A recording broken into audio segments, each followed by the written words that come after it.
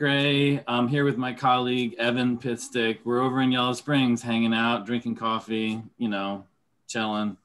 Um, we have been working, I've been working in the tech field for about 20 years. I started off in the Columbus area, started running a dot com uh, out of the basement, classic CEO. Um, hired me to do that, grew into a $15 million e commerce system selling medical equipment back in the early 1999 2000 timeframe. Um, since then, I didn't. I tried to play around with mobile. Mobile was a mess back then. I really quietly sat and tested it throughout the last two decades until a project came up from a company, and of all things, it was a penny stock company. So I'm uh, AB. Is it AB right? Yes. Uh, so I'm interested in your critique after. You can hit me up later. But um, out of all the companies that we work with, we work with very big companies like Masterlock, Valvoline, Barnes & Noble, Penske. We provide mobile system, uh, digital systems for our, our, marketing assets all over the globe. Uh, none of those guys really invest in innovation. They kind of center on tools and systems, and we provide those services. Um, but um, in the last couple of years, this penny stock bubbled up to the surface and said, we want you to build – this thing. That's what we're going to talk about today. We're building this uh, platform, this digital platform that kind of does everything that social media does, like the best things of social media, but in a private, more secure way. And also no advertising. Um, so we're not harvesting data from people. And my systems are already set up for access layer control, like privacy segmentation of data. So we're going to build and talk about how we're expanding on top of that and how we took a platform and put inside of it a shopping system uh, to prove how we can load networks into our platform. So that's kind of what today's about. Um, I'm going to go to the next slide. Um, let's see. So just real quickly, Amazon's not uh, affiliated with us, but and I have a disclaimer on there. But we guys all saw what happened in the pandemic small shops closed. They had intermittent access. They had people out. They had all kinds of problems. Money couldn't get there locally very easily but money flowed through the infrastructure that amazon's worked on for 26 years. So everybody knows that digital infrastructure works just small businesses don't have it. And if they do get it they have to pay a pretty heavy um, uh, ticket to ride. Uh, so they have a, a high expense on um, uh, profit sharing to other parties that are providing it. So we're also going to try to provide a low cost infrastructure and provide that to small businesses. Um, so our small businesses are losing market share and profits. That's the problem that we're trying to solve. That's the pain point. small businesses lack a low cost unified marketplace. marketplace. The reason why I say that is Bob's shop, Steve's shop, Jenny's shop, they might be on Etsy, Facebook, or whatever, but to the shopper, imagine a digital shopper coming up to that area. They're not all in one place. They're all over the place. How do I'm not going to, there's only so much time I'm going to spend as a shopper to patronize shops that I want to get to, but I don't know where they're at, where they're not organized. So we're talking about unifying those shops. Um, we believe that um, um, that, that uh, it's difficult to also find and do a local search. A lot of times, if you use your mobile phone and you're just using Google and searching for something, your cell phone tower may pick up the next town over. You may order a pizza from a pizza place 50 miles away, but it's actually not tracking your geo.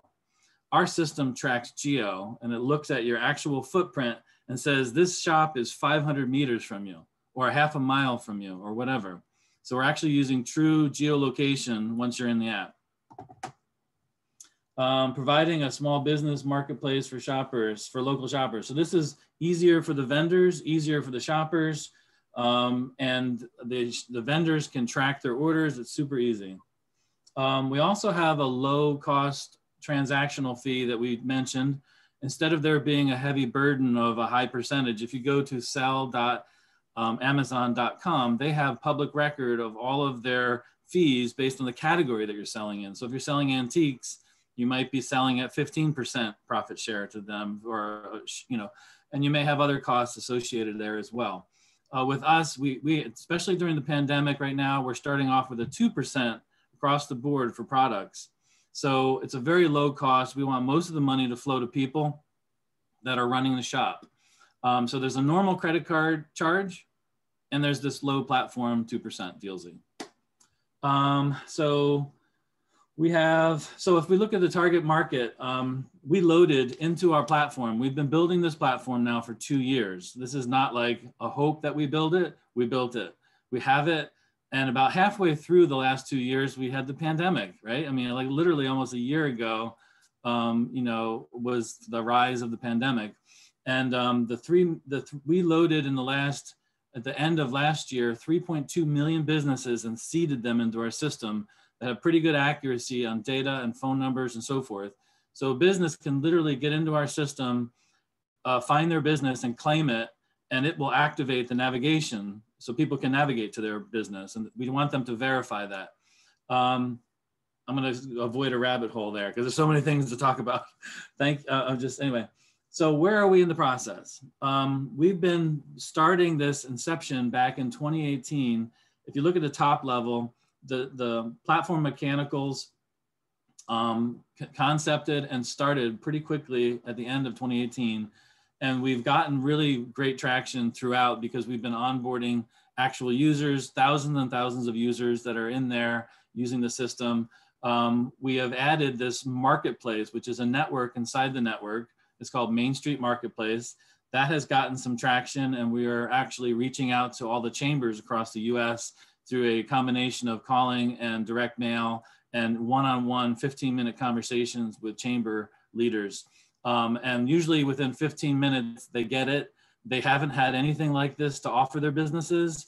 They're interested, and we're actually giving them a quarter percent of our 2%. So it's actually like a quarter of that, uh, sorry, an eighth of our 2%, which is a quarter percent of the whole, uh, would go to the, the chamber as an ongoing revenue back to them. Um, and I'm AB just nodded, so that sentence did make sense. I know.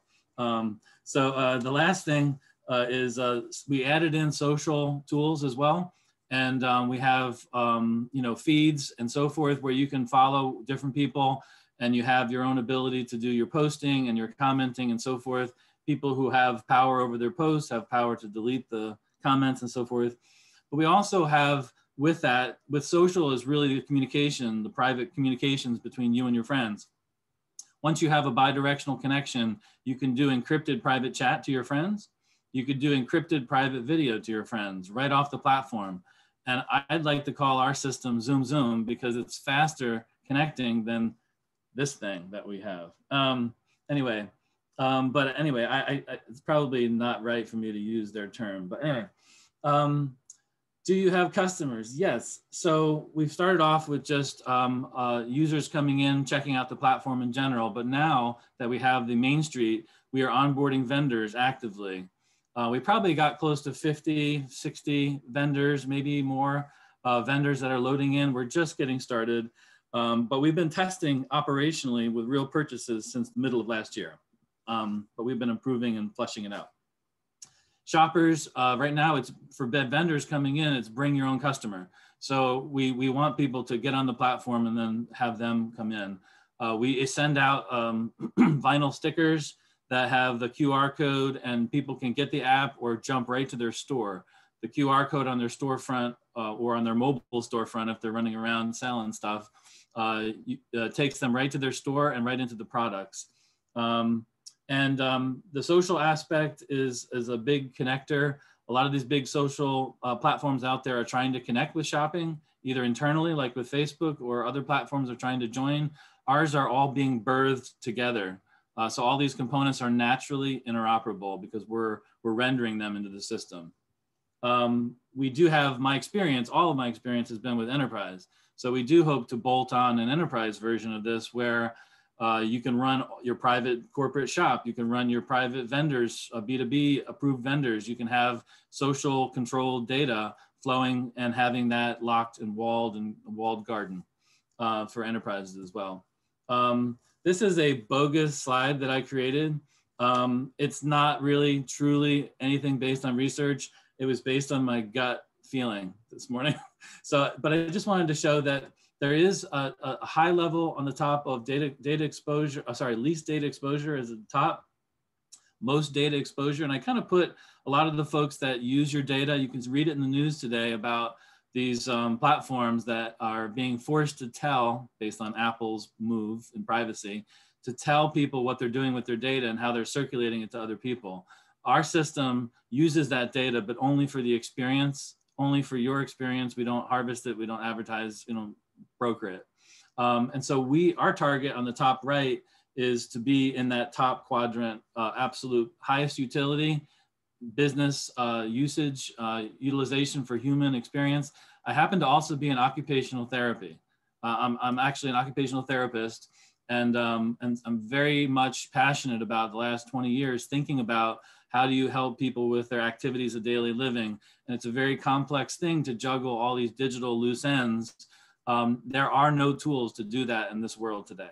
I'm going to try to build that into the system so that you can manage Papa's, you know, medicine and pickup and all the all that data of your data, their data, your children's data, your pets' data, your privacy, your groups, your private sharing of video over here, all that can be controlled through very specific security keys. We have all the mechanisms for that and we are folding it into this platform. Um, but uh, I'll just say that the way this whole thing is structured, am I way over time or are we doing okay? Uh, I should go quick. I, gotta wrap up. Um, so we are building, we are the infrastructure, building all the operational stuff, building in terms of service, uh, having all that stuff kind of created. Um, ARknet is a player on the field. They license some of the technology of the IP uh, behind this this uh, this this uh, entity. And my customer is, is Totochrome. So both Honeycomb and Ar ARknet are supporting the customer, which is Arc, uh, Inter uh, Totochrome Inc. Um, and um, that gentleman, the CEO, comes out of Raytheon, a very super savvy guy, lots of patents on content. Here's some of the companies that I've been working with over the years. Some of them you might not recognize, some of them you, you will. Um, we're responsible for protecting their data over the years. Um, and what are we asking? Here's the final slide. Um, use it. That would be awesome. I mean, download it, try it out. It's available on iOS and Android. Connect with a friend, tell your friend about it, connect with it. See how easy you can video connect. See how easy, once you're authenticated, mobile, uh, two factor, video, uh, email checked, uh, you can go into the network and direct connect with anybody through that. Um, you have the ability to shop in there um, and you can post stuff. Please have fun. Um, what can you do? You can also share it. Tell a chamber, tell a small business, uh, tell an investor. That'd be cool. Um, tell a small uh, your startup peers because literally, if you have a startup and you wanted to build something, instead of building this boring infrastructure, uh, there's opportunities to launch inside of our platform with a special arrangement. And so you could leverage our platform and launch your business inside of it. Uh, there are investment opportunities, but I'm not a financial advisor. Talk to Totochrome. That's it.